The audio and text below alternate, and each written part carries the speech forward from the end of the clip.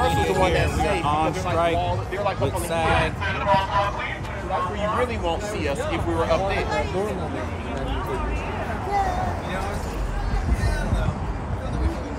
Just spending the morning just don't have a safe street for us to pick representing our actors. The tree was trying to make it Got so the Writers Guild here too.